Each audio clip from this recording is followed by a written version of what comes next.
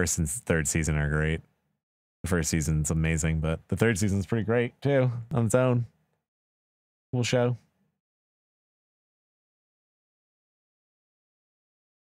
No, that was uh The Outsider. Castle Rock is the Hulu one, right?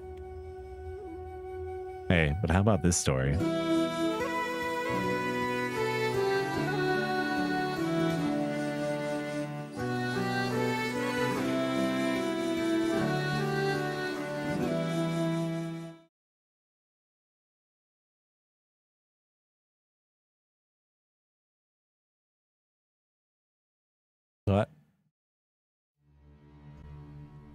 I oh. know who Yo, you he's got the GIF. And I saw what you did. Just this is the thumbnail. That's it. That's all you get. Do you click on the video?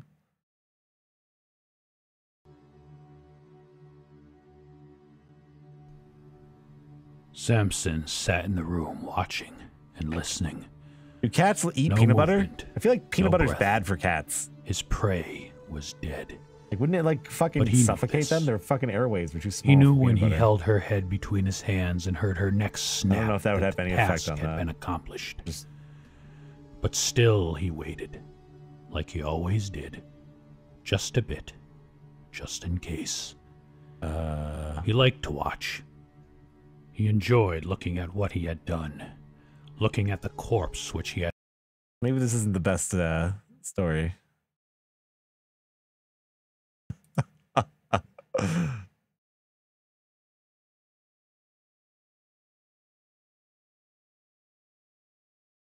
oh, this isn't the same guy. That's why.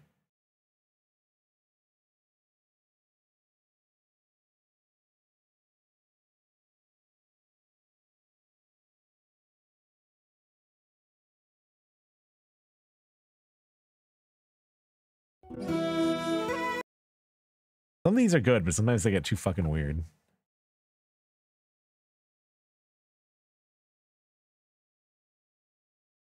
Yeah, I just didn't want to be like murdering some naked lady in the story.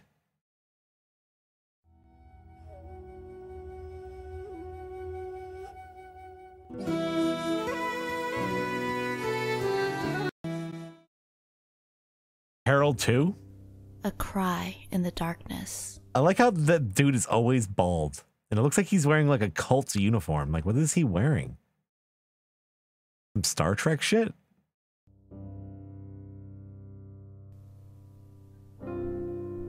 Adam Dent was not a man who you would call lively or amusing. In no way Dent? could it be said that he was a pleasant joker everyone else or had a hair. silly heart. This guy's got hair. Adam was not a cruel or mean spirited man.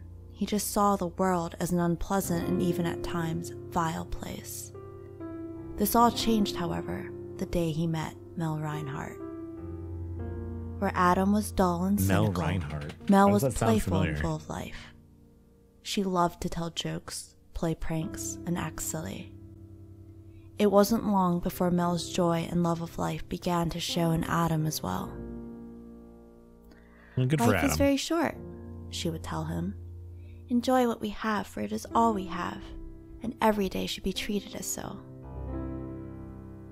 During the two years he had known her, Adam was changed by Mel. She had softened his heart and allowed him to feel something he had never thought possible. Her smile and her laugh were two things Yo, he look at these could not people. have come from the cruel, sad Look at world 90s he music once video. thought he lived in. Now, life was better. Life was good because Mel was in it. And on the anniversary of their meeting at the same cafe where they had met two years prior, Look at that ice cream. Adam proposed. Oh, yes, of course I will marry you, Mel said, her smile melting his heart. Oh, Adam, thank you. You have made me so happy.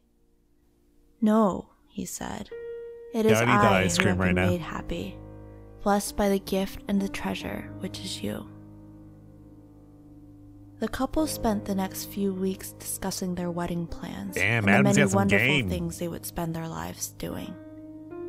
Then one day, Mel did not show up to meet Adam for lunch at the I've cafe. fallen in love with your bucket hat. It was not like her to simply miss their date without giving Adam notice. Maybe she just needs a little space, he thought. Will Thoth be my all, wife? we have been seeing each other a lot lately.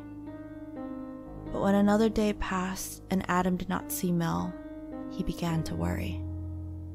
Perhaps she is ill, he thought, and went to visit her at her home. Herbie eyes? At the Reinhardt residence, Adam was greeted by Mel's mother, Mary, at the door. Is Mel ill? he asked. I have not seen or heard from her in two days now. Mary Reinhardt looked at Adam with a deep sadness in her eyes. Adam, I don't know how to tell you this, but Mel is gone. Gone? What? He asked. Gone where? What do you mean she's gone? My daughter is dead, she said. Isn't this the same story? I lost her two nights ago. Oh, no. My child. My child is dead. Why didn't anyone tell this poor guy? Adam stood stunned. The shock overwhelmed him so that he could not speak. Dude, 20% of spooky Mary's stories stories are in, just and this his heart story. Shattered. For Falling Ghost into her Girl. arms, he let out a wail of sorrow and pain. Time Just, went like, by, leads and Adam's poor friends and family tried to comfort him the best they could. She's like, I was a but it was to no avail. Mel was gone. The light in Happened his to a life lot of had died people. out, This and guy, it the guy in the other the which story. had once filled him. Dan Aykroyd. Six months after Mel's death, I mean, Adam himself was found dead beneath a bridge near his home. what? Damn, Adam. Police had ruled death a suicide. The Dent and Reinhardt families met each other and talked about Adam and Mel and how tragically short their lives had been. And this is where the story He just might kind of have faded ended, away. but it didn't. What? 25 years after the deaths of Adam and Mel, the police received a very strange letter. Was not The expecting letter that twist. explained that someone was in desperate need of help right away and an address was given. The letter was not signed.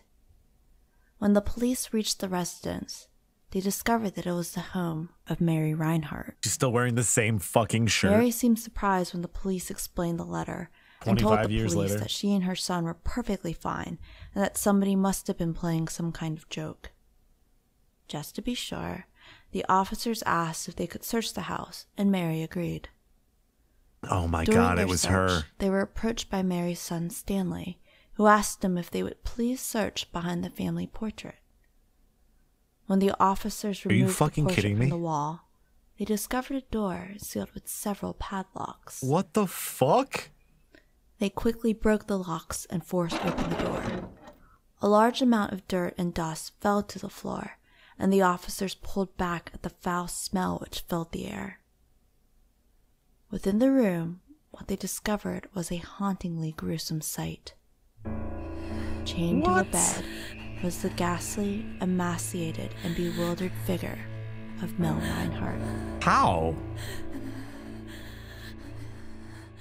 There's bugs on the wall. Stanley told the police that when Mel had told her mother that she and Adam were to be married, her mother greatly disapproved and forbid the marriage to happen. Mel told her straight out that she was going to marry Adam no matter what she said. For days, Mary Reinhardt tried to get her daughter to change her mind, but Mel adamantly refused. Feeling she What had no the fuck kind of twist is Mary this? locked Mel in her room and told her that she would have to stay inside until she accepted her wishes. Despite the promise of release if she would simply bow to her mother's demands, Mel refused to give in. The biggest question I have is what is the husband wearing? Is he a cult leader or what? Several days passed, and her mother cut a small hole into the door and allowed her food and water and nothing else. According to Stanley, Like, who is that despite their mother's cruelty and torture, Mel never gave in and would bang on the wall. An unfortunate story. Charlie was Yeah, I like of the ones that are just kind of kids I care more not why. people being trapped in. Whenever he was doing torture some rooms? activity with the other kids, he Like, maybe would this never Harry Potter looking chance one to will be make them funny. feel foolish. At times, he would even put down some of the camp counselors, correcting them whenever they would make a mistake, or challenging their knowledge of nature and history. Bats are not actually blind, Camp he said once, after somebody used the phrase blind as a bat. In fact, he Oh said, no. there are some bats that can see better than you can. On another occasion, when he noticed one of the camp counselors baiting a mouse trap with cheese, he made it a point to say that they would have more luck trying a piece of fruit or even an insect, since mice don't even really like cheese. The others at the camp didn't really appreciate all of Charlie's advice. They knew he was much more interested in sounding superior to them rather than helping out. What kind of One camp morning, name is Camp was Owl through the Eye? And then the logo is just a fucking eyeball? Dennis. What? When the trio found themselves at a small lake, they stopped to take a break. This is Lake Anesta, said Dennis. We better get out of yeah, here. Yeah, the logo quick." is just gonna be uh, an eyeball. Charlie smiled. because of the It wabi looks like a fucking wabi? olive or Yeah, like a kiwi or something. answered. Nah, we might be safe, said Ray. Everybody knows that the Wabi Wabi sleeps during the day and only comes out at night. Wabi Charlie wabi. couldn't contain himself any longer and busted out laughing right then and there. Please tell me you are not serious. Of course, the Wabi Wabi isn't real. That's just a fictitious story about a fictitious creature that those people at the camp tell kids. No, it isn't, said Dennis. Didn't you hear? Some teenagers were swimming back here one night, and it got them. Swallowed them whole. Charlie almost fell over with laughter. He walked over to the boy and put a hand on his shoulder. Let me explain a little something to you, my friend. It is not possible that one animal could exist for all the decades that this thing was supposedly spotted. What the oh, yeah, smarts? Ray going on? Well, did you ever think there could be more than one? Charlie walked over and placed his hand on his shoulder. How about you don't touch me? Then I think, my dear friend, if that were the case, that it should be fairly easy to spot one. Take a gander. He pointed out towards the lake. This lake, as you can see, is not very large. If a number of giant reptilian creatures Uniform lived here, trees. I suppose that it would not be such a chore to find and categorize them, now would it? So then, what happened to the teenagers? asked Dennis. Ah, yes, the mysterious teenage casualties. Were there any witnesses to this sad event? Nobody said they saw it, just that it happened, right? I don't know, The Poor Potter. kids who got devoured certainly aren't talking. So how do we know what happened, huh? Also, who were these unfortunate teens? What were their names? Where did they live? Can I talk with their family members? Show me their obituaries.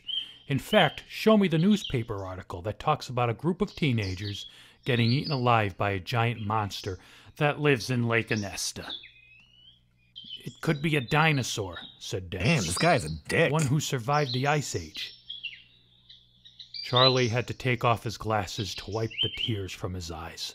oh my god. After replacing the glasses, he said, First thing, the Ice Age did not kill the dinosaurs. Second thing, the last dinosaur died 65 million years ago. Could we please try to stay in the realm of science and not pseudoscience at least? Oh, yeah, smarts. What about the Loch Ness Monster? said Ray. Yeah, what about it? Some say that's a dinosaur that survived the Ice Age. Something called, uh, uh, a plesiosaur. Yeah, you got it.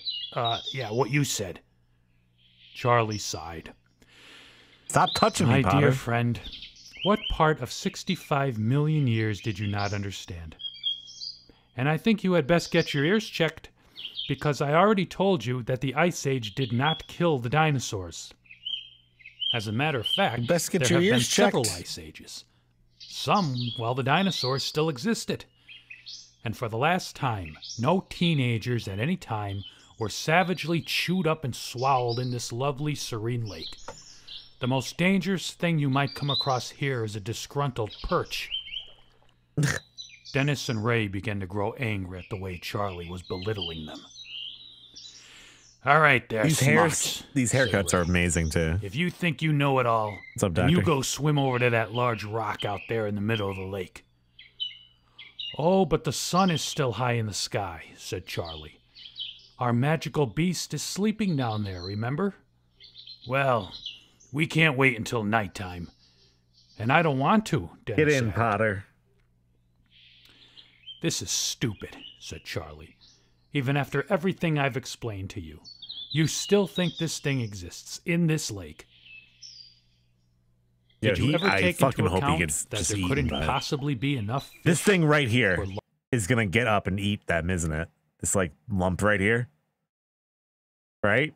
large enough fish, for that matter, to oh, sustain that. an entire family of dinosaurs in this little lake, or even one dinosaur? And what about when winter comes? How would our friends survive the freezing temperatures? Well, maybe it isn't a dinosaur, said Dennis. We just assumed that. Again, Charlie the other kid just fucking punches him. All right, he said. He removed his shoes and shirt and began walking towards the edge of the dock. Are we really going to let him do this? asked Dennis. After Charlie swam halfway to the boulder, Ray called him back. Okay, Smarts, never mind. We believe you. Don't be crazy now. That Just boulder get back is the here. monster. I'm calling it. Don't be absurd. It Charlie is. It has to be. I've never been safer. He continued swimming and eventually made it to the large boulder in the middle of the lake. He stood there, arms crossed and smiling. Well, he shouted back, like I said, no wobby wobby, and no Nessie, no Sasquatch, no unicorns, nothing. These things exist only in the imaginations of fools. Ray and Dennis looked at Look at the dull now, pineapple fucking foolish. juice. Of course, now the things Charlie had told them began to make sense. Okay, Charlie said. Can I come back over now? At that moment, the Hell ground around. Dennis and Ray began to shake, followed by a loud, piercing shriek. The trees shook, and out stomped a large, oh, ferocious Oh, I thought it was gonna be the boulder. Before the two boys could even move, the beast smashed in Ray's skull Whoa! with a fierce blow, killing him instantly. Dennis screamed and ran for his life, but the creature grabbed him and lifted him up off of the ground, flinging Dennis over its shoulders and dragging Ray's lifeless corpse behind him. The monstrosity disappeared back into the woods. I didn't think it would kill them. Charlie simply stood on his rock That would kill him. and looked on, dumbfounded. The thing just punched right through his head. The hell's this one?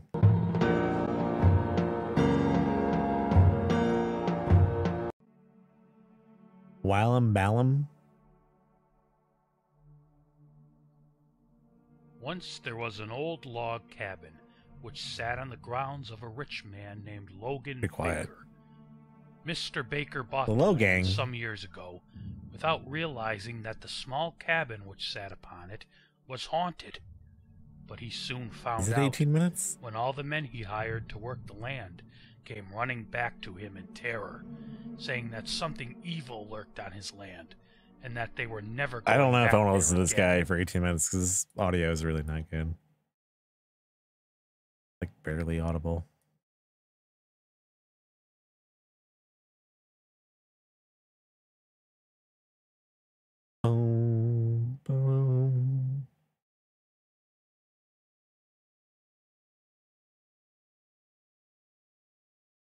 His these stories are pretty fucking brutal. I wasn't expecting it to get like that.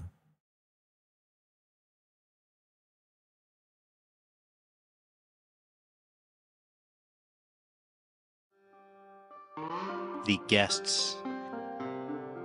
The guests. A young man and his wife were on a trip to visit his mother. Usually they arrived in time for supper, I swear to God, I used to like play start, video and games now with it was guy. getting dark. His voice So they so decided to look for a place to stay overnight and go in the morning. Just off the road, they saw a small house in the woods. Maybe they rent rooms, the wife said, so they stopped to ask. An elderly man and woman came to the door. They didn't rent rooms, they said, but they would be glad to have them stay overnight as their guests. Fuck They had plenty of room and they would enjoy the company. The old woman made coffee and brought out some cake, and the four of them talked for a while. Then the young couple were taken to their room. They again explained that they wanted to pay for this, but the old man said he would not accept any money. The young couple got up early the next morning before their host had awakened. On a table near the front door, they left an envelope with some money in it for the room. Then they went on to the next town. They stopped in a restaurant and had breakfast. When they told the owner where they had stayed, he was shocked. That can't be, he said. That house burned to the ground, and the man and the woman who lived there died in the fire. The young Oh, couple could not believe it, so they went back to the house. Only now there was no house. All they found was a burnt out shell. They stood staring at the What is that ruins, tree? trying to understand what had happened. Then the wife Bamboo screamed. In the rubble was a badly burned table, like the one they had seen by the front door, and on the table was the envelope they had left in the morning. Damn.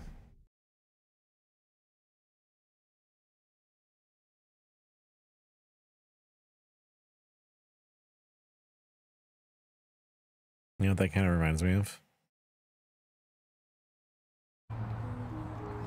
There is no such thing as a coincidence.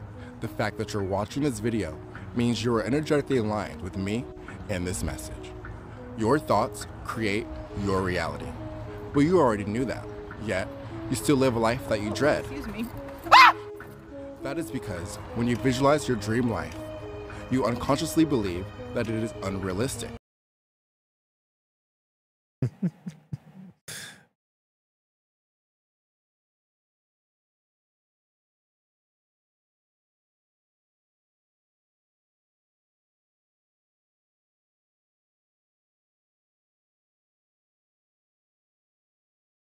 What do you think they're freaking out about? What do you come for?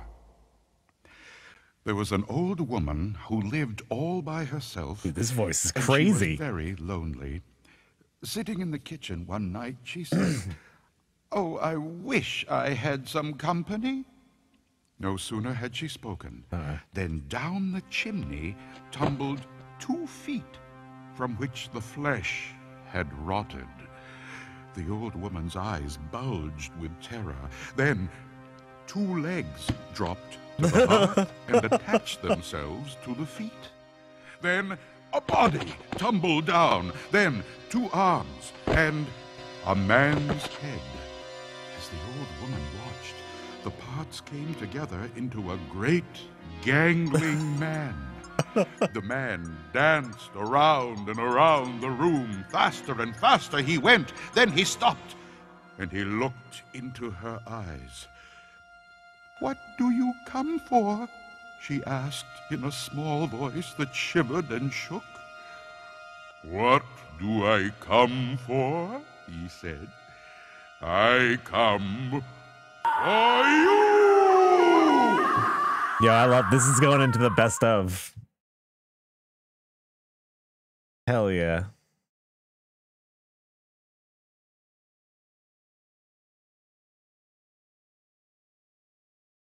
Then they drove. Way too long. I come for you. What do you come What do you come for?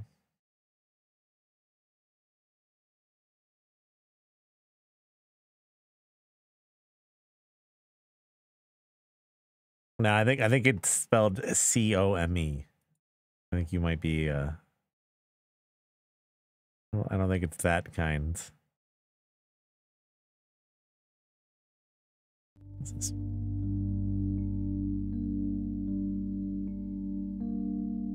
I think it's spelled C O M E. You look it up in the dictionary. Backwoods Shack. The town of Miller's Creek was a small town with some nice residents, except for one town drunk named Alan Marshall. Why is his hand Alan in the was a bowl? quiet man who kept most of like peanuts or something. and only went into town to get his drinks. He lived in a shack deep in the backwoods and did not like anyone or anything Juicy shack? to come near it. And if something did, well, That thing was never heard from again. A ranger named John, who had arrested Alan several times for getting into bar fights, That looks like an asshole. decided to inspect the shack. So when he saw Alan in the bar, John went to Alan's shack. Mm-hmm. It took him a long while to find it in those woods, Why are you in my but shack? eventually he did and broke inside. the fuck? When he turned the lights on, he gasped with fear. He found bones Fuck. scattered all across the floor and human skin rugs. At the sight of this, he turned and ran, I like that face. right into Alan, in Good fact, face. who had just been returning home. Alan stared down at John with Oh hatred in his eyes. He pulled out a hunting knife and lunged at John. But John pulled out his pistol and fired. He shot Alan in the shoulder, and he let out a cry of pain, dropping This is like. Rocky Raccoon. John took off running. Now in the black John mounted got hills off Dakota, there lived a young boy named Rocky Raccoon. And they sent a group of John's fellow rangers out to find Alan. But Alan It's was like the nowhere same in story. sight. And they decided that he had probably fell over dead somewhere from the loss of blood. They then burned down the shack and all of the horrors inside. A few weeks later, John was sitting outside his own cabin when he noticed a figure walk out of the woods and start making its way towards him. Hey, buddy, he called out. But the man did not reply and kept walking towards him. When the man got close enough, John recognized him. It was Alan. John couldn't believe his eyes. it was He was Alan. sure Alan had perished due to his wound. He started to reach for his pistol, but Alan pulled out his hunting knife and sank it deep into John's stomach. That When the Rangers found? John's body, he was in so many pieces that they weren't even sure that it was John they had found. They looked all over for John's Damn, killer, John. but never found him. They looked everywhere.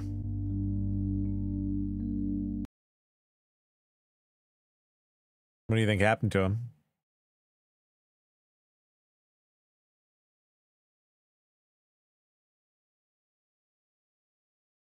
The thing.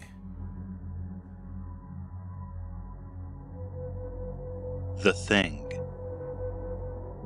Rocky Raccoon is a Beatles song. Ted Martin and Sam Miller were good friends. They spent a lot of time together. On this particular night, they were sitting on a fence near the post office talking about one shirt. thing and another. A There was a field of turnips across the road. Suddenly, they saw something crawl out of the field and stand up. It looked like a man, but in the dark it was hard to tell for sure. They don't care Then at it was all. gone. But then it appeared again. It walked halfway across the road, then turned around and went back into the field. Then it came out a third time and started towards them. By now, Ted and Sam were scared, and they started running. But when they finally stopped, they decided they were being foolish. They weren't sure what had scared them, so they decided to go back and get a better look. That's Pretty when they soon decided they to saw run? it, for it was coming to meet them. It was wearing black pants, a white shirt, and black suspenders. Sam said, I'm going to try and touch it. Then we'll know if it's real. he walked up to it and peered into its face. It had bright, penetrating I'm going to eyes try to touch deep it. in its That's head. how I know it it's looked real. like a skeleton. Uh huh. Ted took one look and screamed, and again he and Sam ran, but this time the skeleton followed them. When they got to Ted's house, they stood in the doorway and watched it. It stayed out in the road for a while. Then it disappeared. A year That's it? later, Ted got sick and died. What? Toward the end, Sam set up with him every night. The night Ted died, Sam said he looked just like the skeleton.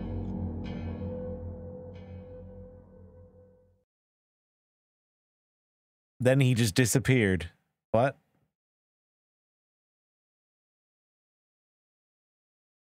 One night, we saw a thing after we were doing drugs.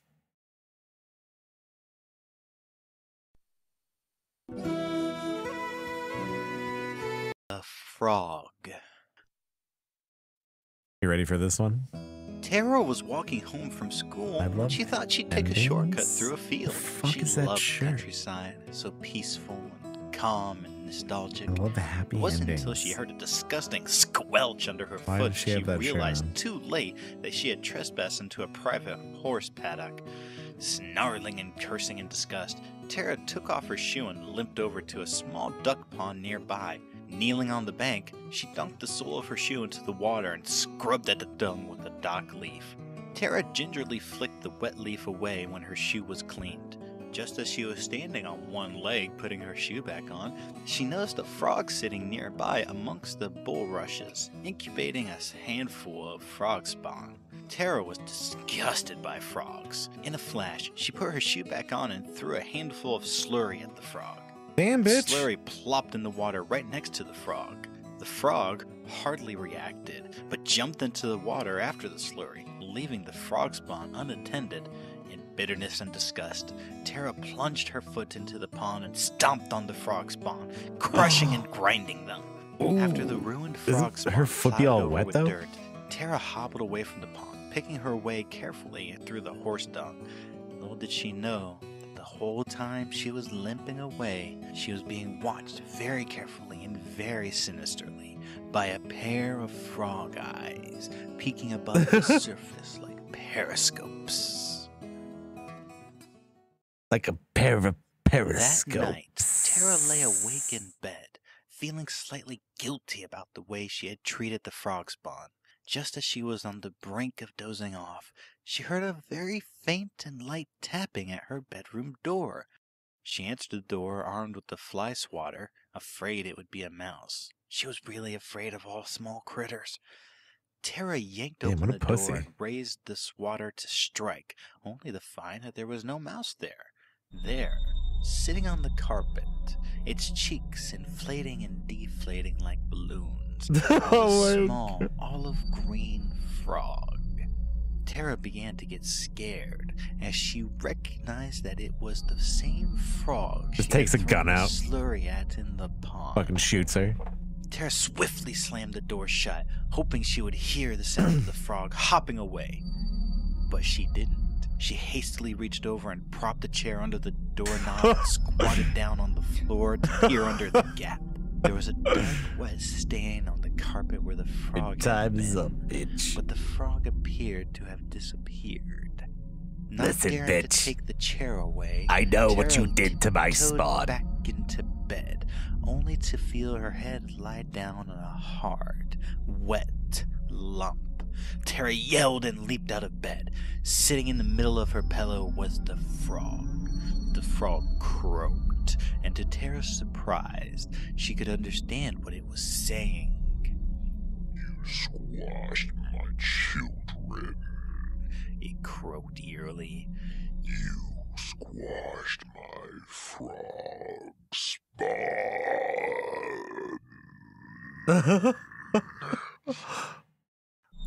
Tara's Whoa. room was suddenly filled with the sound of croaking and ribbiting, and hundreds of hideous little deformed frogs appeared out of nowhere. Tara shrieked as the frogs pelleted towards her and pounced on her, covering her all over. In her frightened confusion, she tumbled backwards through the open window, rolled off the porch roof, and fell into the garden below. She did. Instead of dying, though, Tara found herself hundreds of sizes smaller than her oh. usual self.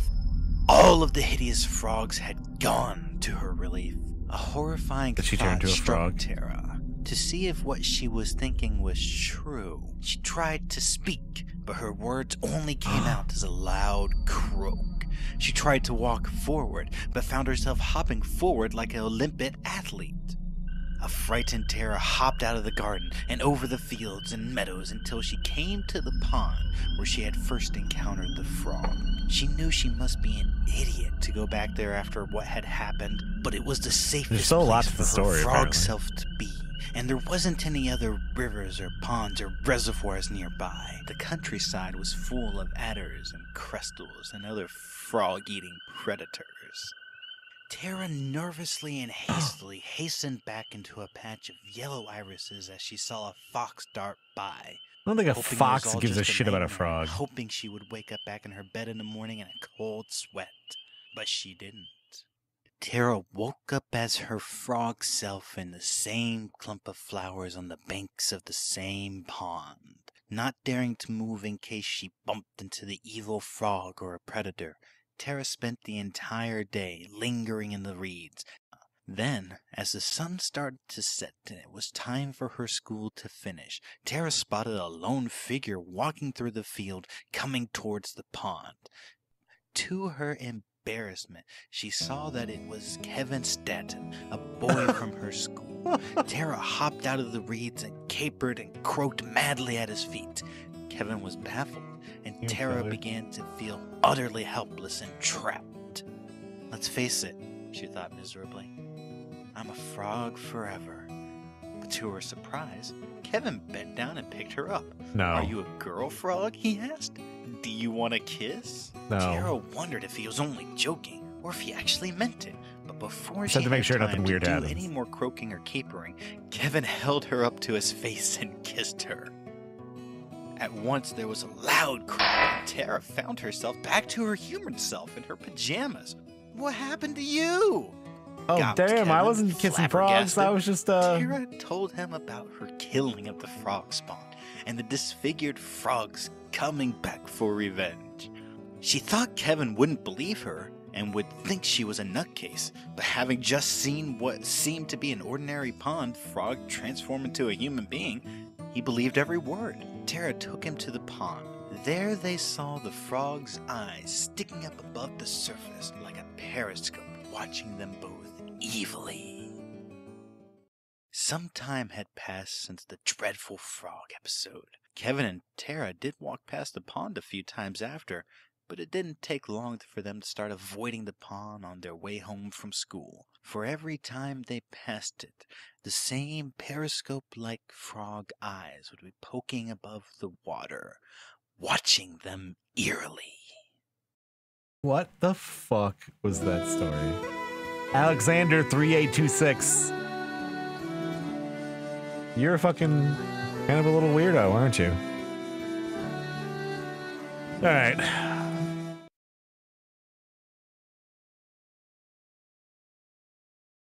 I mean, it was weird.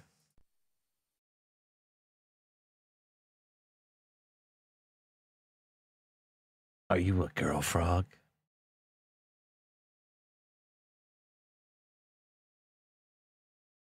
Freeze, FBI.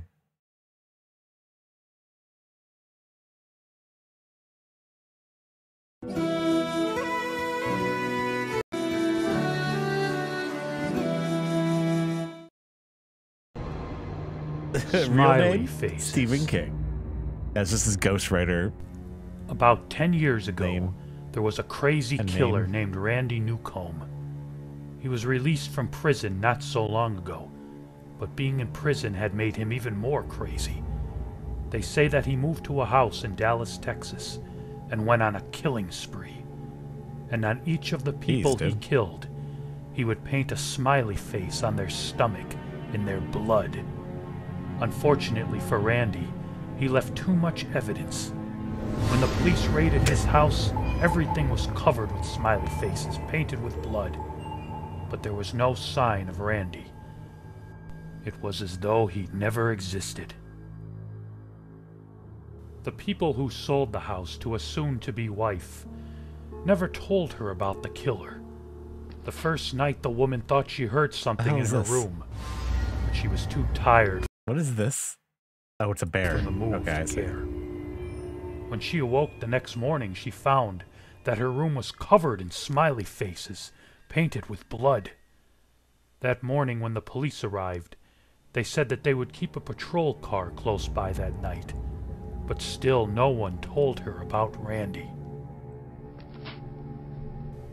That night, she heard the noise again in her room. This time, she was quick to turn on the light and look. It was Randy, painting a smiley face on her floor. Where's he getting the blood from?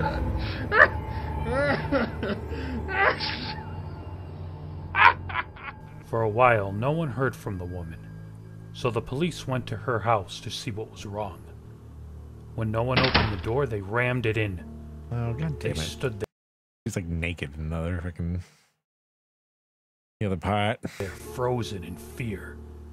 For all over the house were smiley faces, painted in blood, and the woman's body hanging from No, the she's ceiling naked. with a smiley face painted on her stomach. I don't But know why she would have been, but I thought it sign looked of like it. Randy. Not ever again. Never again.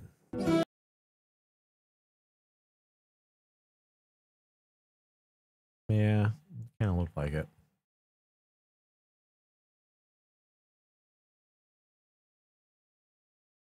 No, this one's funny. The Big Toe. A boy was digging at the edge of the garden when he saw a big toe. He tried to pick it up, but it was stuck to something. So he gave it a good hard jerk, and it came off in his hand. Then he heard something groan and scamper away. The boy took the toe into the kitchen and showed it to his mother. It looks nice and plump, she said. I'll put it in the soup and we'll have it What's for wrong with your mom? That night, his father carved the toe into three pieces, and they each had a piece. Then they did the dishes, and when it got dark, they went to bed. You can't even tell what it is. The boy fell asleep almost at once. But Oh, thanks for the toe, the honey. night, a sound awakened him. It was during It medieval was times, okay? Out in the street. People ate toes. It was a voice, and it was calling to him. Where is my toe? It groaned. When the boy heard that, he got very scared, but he thought, it doesn't know where I am. It will never find me. Then he heard the voice once more, only now it was closer. Where is my toe? It groaned. The boy pulled the blankets over his head and closed his eyes. I'll go to sleep, he thought. When I wake up, it will be gone. But soon he heard the back door open, and again he heard the voice. Where is my toe? It, it groaned. Dude, just Then give him the toe. The boy heard footsteps move through the kitchen, into the dining Yeah, this is room, from Scary Stories. into the living room, into the front hall. Then slowly they climbed the stairs. Closer and closer they came. Soon they were in the upstairs hall. Now they were outside his door. Where is my toe? The voice groaned. His door opened. Fucking Shaking with fear, he listened as the footsteps slowly moved through the dark toward his bed. Then they stopped. Where is my toe? The voice groaned. You've got it! Uh huh. Got him. You get it? It was him. It was the guy who wanted the toe.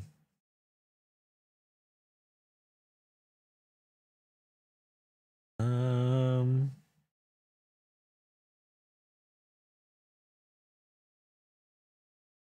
There's a weird one. I've never been able to find. I don't think this is it. That was from that anthology, but I've never seen it done anywhere. I don't think this.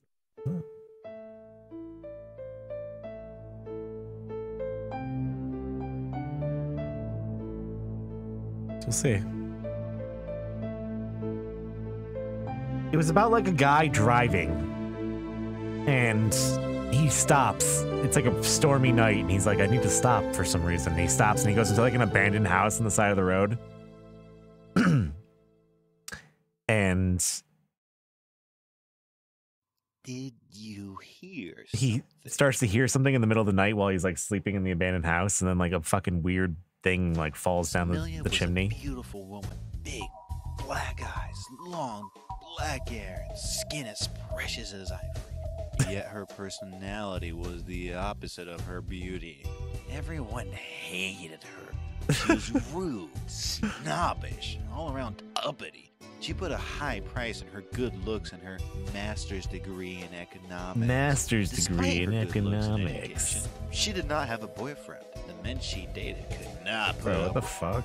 she was always demanding this and that and always cussed out her boyfriends if something went wrong, regardless whether it had been their fault or not.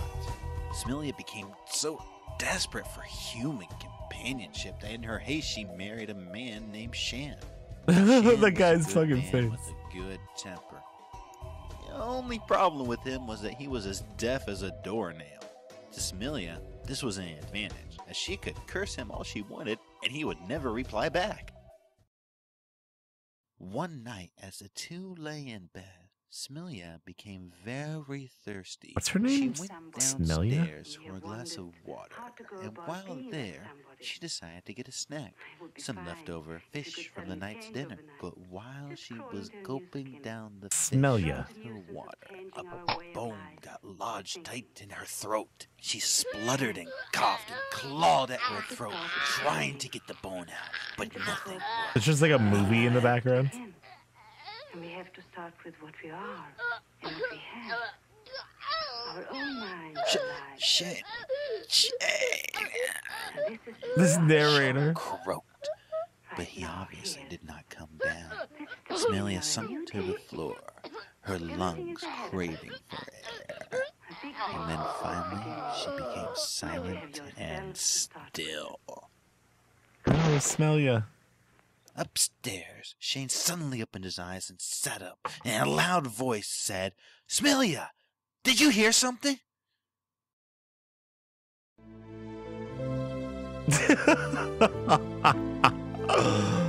wow.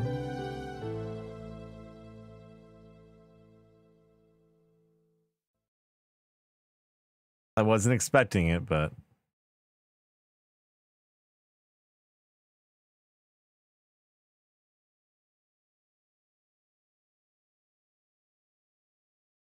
The Walk. My uncle was walking down a lonely dirt road one day. He came upon a man who was also walking down that road.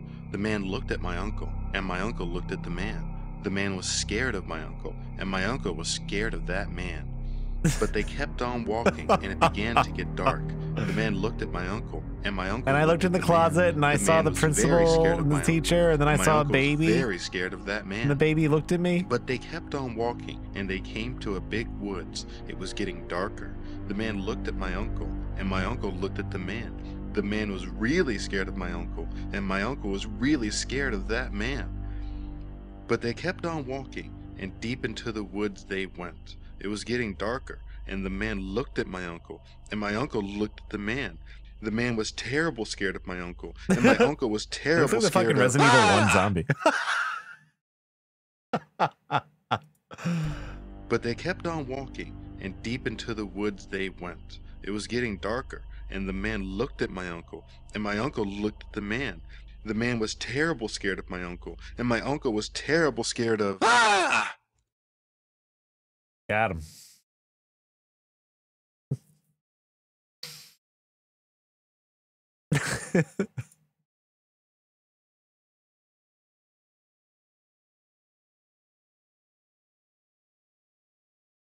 ah!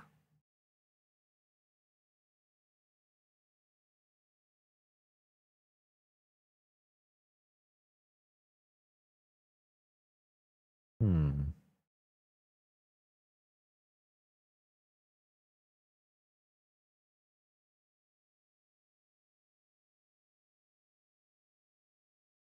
I was looking for a short one.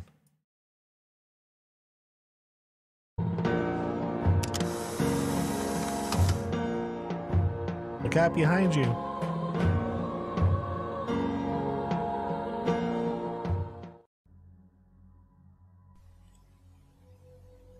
The New Neighbor. There was a young woman who lived in a small town named Jessica Peters. Jessica didn't get out of the house much, so she didn't have many friends. One day there was a knock at her door, and it was a man who looked to be in his early twenties. Hello, Um, he said. is My name that is Rick. I just moved into town and was coming over to see Patrick my new Bateman? neighbor. My name's Jessica. Nice to meet you, Rick, she said in a shy tone. Would you care to come over for my housewarming party tomorrow night? Rick asked. Yes, I would, she replied. Would you like to come in now for some coffee? Sure, Rick? said, and he walked in and took a seat on the couch. Jessica walked into the kitchen to get a I saw that new coffee. episode of Rick and Morty. When she came back, Rick was gone. It wasn't actually that bad. That's odd, she thought. Yeah, that's pretty odd. The next morning, while she was out for a walk, Jessica fucking decided gonna to murder stop you. at Rick's house to say hello. She knocked on the door and was surprised to see it wasn't Rick who answered, but a man she didn't recognize. It's this fucking guy. Can I help you, miss? he asked. I'm looking for Rick, she said. He looked at her with a strange face. Ma'am, I'm sorry, but he has been dead for over ten years. It's the same fucking story. Just after his death. What? Ghosted. But he was just at my house yesterday, Jessica said, frightened. He died the day he moved into this house, in fact. I'm sorry to say that Rick killed himself after finding his beloved wife, Jessica, had died in their bed.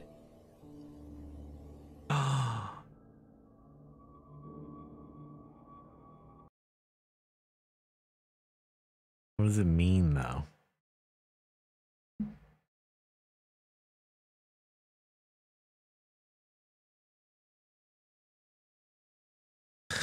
What does it really mean? All right, let's watch one last thing. I'm probably going to take off, I think. I'm pretty tired. Like I said, I'm like out of energy. Gonna go chill. Let's watch one last thing. Oh, I know we could watch. I know exactly what we could watch.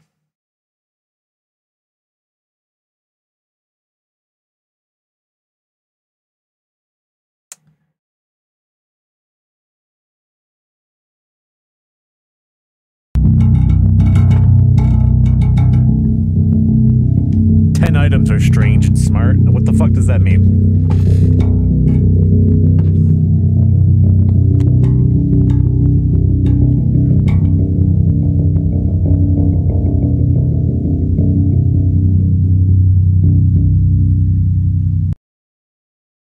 Look at these wild ass intros. Whoops. Is there no sound?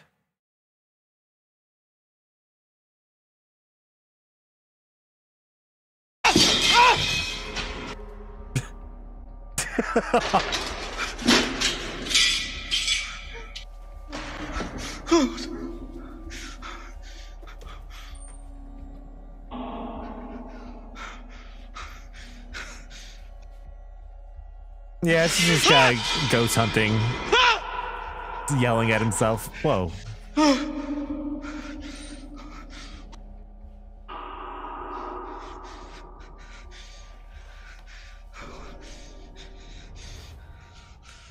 What the way that looks at the bottom looks like there's like some smoke or something.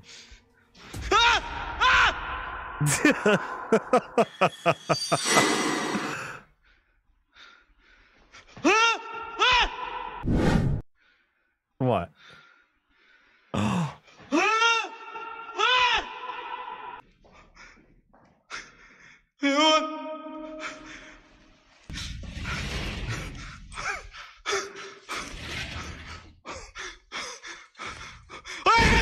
The red fucking stool.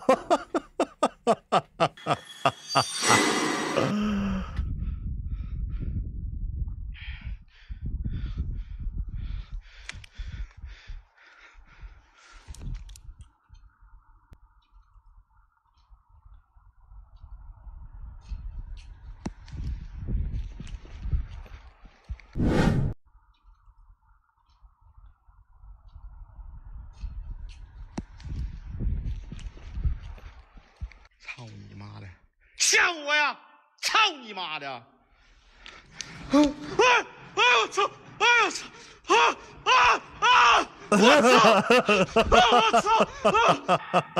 操你妈的！我操！看着我！哎哎哎！我操！我操你妈的！过来呀！操你妈的！我操！Rotating chandelier. 啥鸡巴声儿？谁？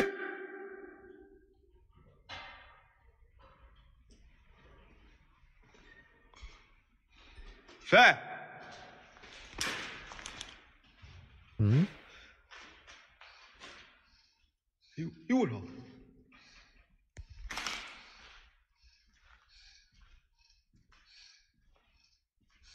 Oh yeah, look at that thing.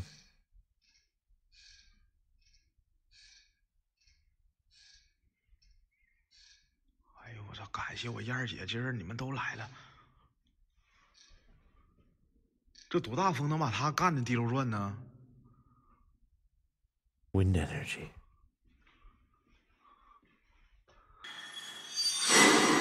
Disappearing lanterns. 哎呦我操！我操你妈！哎呦我操你！哎呦我操！我操你妈！哎呦我操你妈！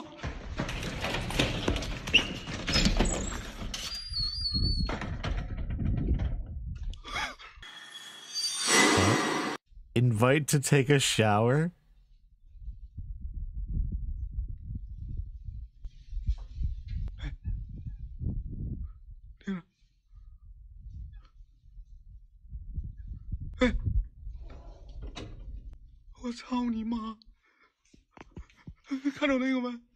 What is he saying, Chani Ma? When he says that, Chani Ma? What does that mean?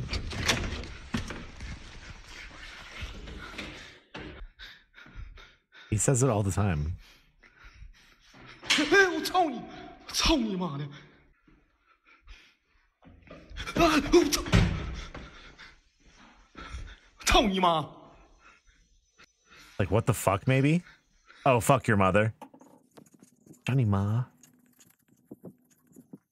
That's like a nice little spot. Looks like someone stays there. 哎哎，我操你！ Not like racist or anything, is it, right?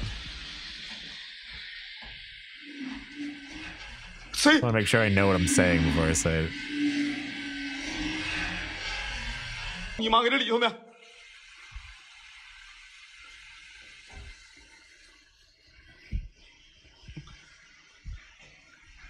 来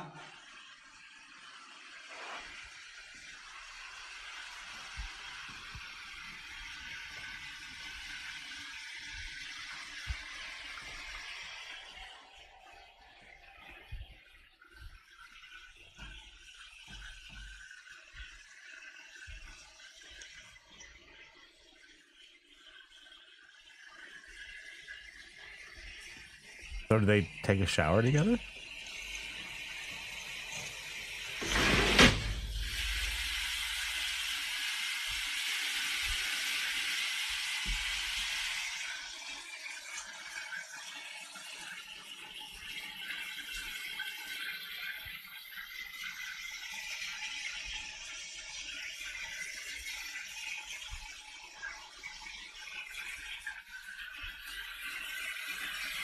hell's going on?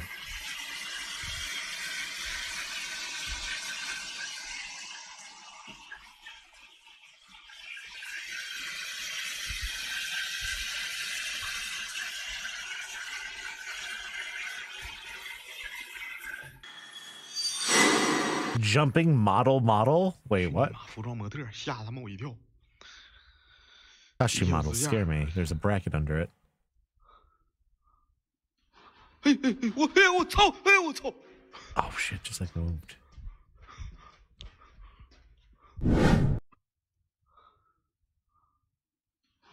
哎哎哎，我哎我操！哎我操！ That's pretty cool.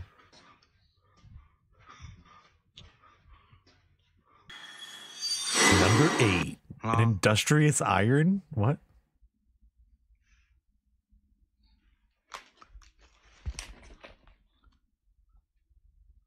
你那瞎他妈白活，Don't talk nonsense there. 哪他妈亮了？Where's the light? 全场只要两元，All the audience needs two yuan. 真的假的呀？Recorder, really? 啊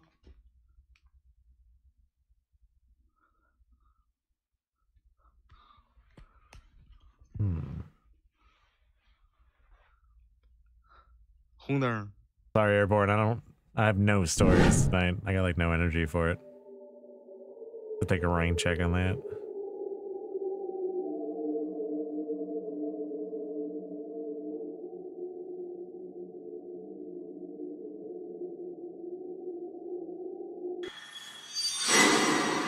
Runaway of rogue monkeys? What?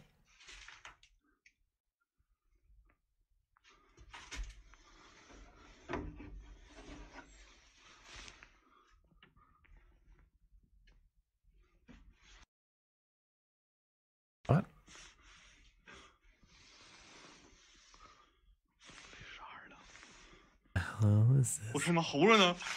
Where are the monkeys? 哎，鱼头，嗯， Yeah, 猴子没了 the，哪他妈 monkey's 有猴 gone. 子 Where are the 哎呦我 monkeys? 操你妈的！哎哎，我我操你妈！操你妈！哎哎，我我操你妈！操你妈！好像动了，我我操操你操你妈！ He's stomping on them.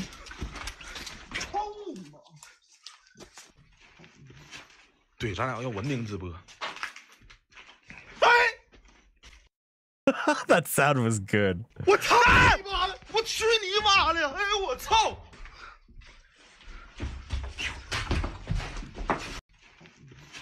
对，咱俩要文明直播。哎！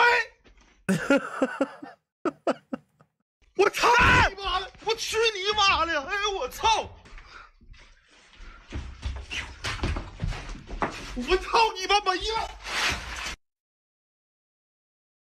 Oh, those monkeys. 我去你妈了个逼的！操他妈，这玩意儿不是个办法。我操，我好像刚才看到过红呢。操他妈，这玩意儿不是个办法。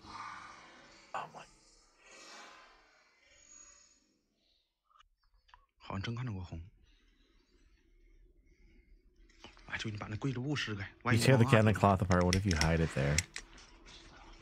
嗯 哎，是你是不是也看见了？堵着。嘿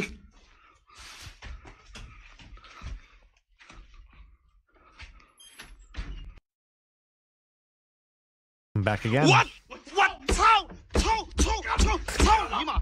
操你操你妈又操操你妈！我踢来，这我踢。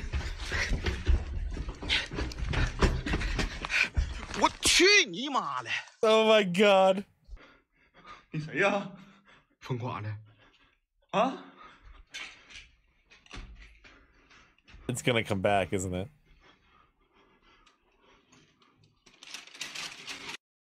Oh no. 我操你妈！你哎，你猴着呢？啊？我他妈猴着没了？那啊，猴着？ They put it on a leash. Whoa, it like left the 猴 room. 着呢？啊？我他妈猴着没了？那啊，猴着？哎哎啊！ Yo, it like walked away. 哎哎！ What? 我操！ That looks sick. 哎呦我操你妈！那是啥 It's because it's so low resolution, you can't really see what's happening, but it does look cool. 哎， No, it's not real, but 我操你妈呀！哎呦我操你妈！那是啥玩意儿了？ 哎哎哎！我操！哎！哎！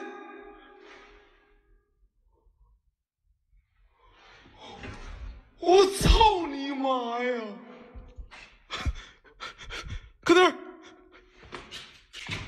啥玩意儿那里头？哎呦我操！哎！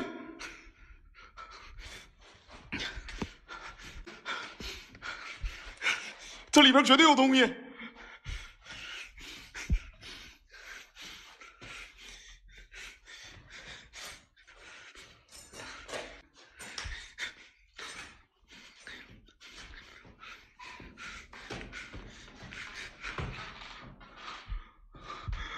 哎呦我！Oh my god！我操！But how?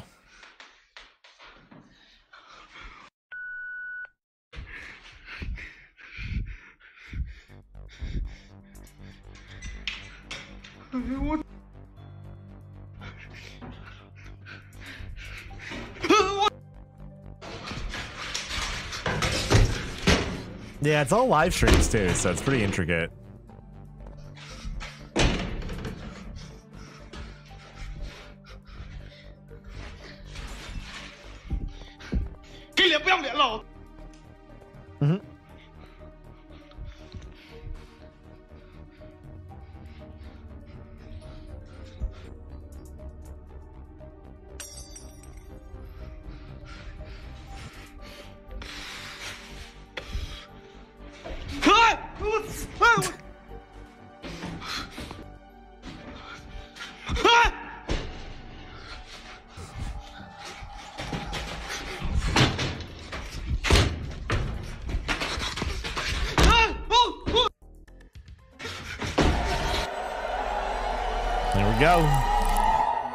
Ghosts are real. It's your proof. Yeah, that channel's called Outdoor Xiaolong. Xiaolong. Very good.